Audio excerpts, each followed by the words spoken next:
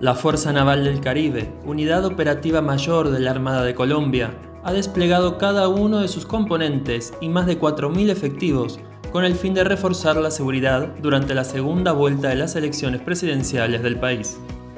Este despliegue, enmarcado en el Plan Democracia 2022 del Ministerio de Defensa, incluyó a unidades guardacostas, batallones fluviales de infantería de marina, batallones de alta movilidad y unidades aeronavales. Las tareas de control se realizaron a lo largo de 224 puestos de votación de los departamentos de Bolívar, Sucre y Córdoba, al norte del país, y en el archipiélago de San Andrés, Providencia y Santa Catalina, en el Mar Caribe.